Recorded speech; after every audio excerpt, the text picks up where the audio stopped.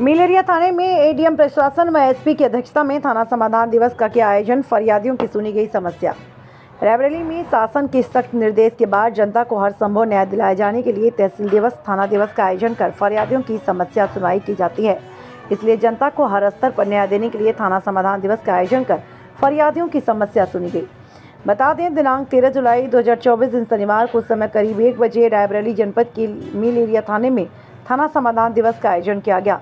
जिसमें अपर जिलाधिकारी, प्रशासन प्रफुल्ल त्रिपाठी, अपर पुलिस अधीक्षक नवीन कुमार सिंह की अध्यक्षता में थाना अध्यक्ष संजय कुमार सिंह के नेतृत्व में थाना क्षेत्र से आने वाले फरियादियों की समस्या सुनी। इस थाना समाधान दिवस में सैकड़ों फरियादी अपनी फरियाद लेकर थाने पहुँचे थे, जिसमें एटीएम प्रशासन ने बताया सबसे ज़्यादा राजस्व से जुड़े मामले सामने आए। कल साठ शिकायती पत्र प्राप्त हुए, जिसमें से पाँच शिकायती पत्रों का मौके पर निस्तारण करवा दिया गया। बाकी अन्य शिकायती पत्रों के लिए राजस्व विभाग की टीम बनाकर मामलों की जाँच पड़ताल कर कार्यवाही हेतु तो निर्देशित किया गया। अपर पुलिस अधीक्षक नवीन कुमार सिंह ने बताया कि जनता को हर स्तर पर न्याय मिल सके, इसलिए तहसील दिवस के बाद शनिवार को थाना दिवस का भी आयोजन किया जाता है।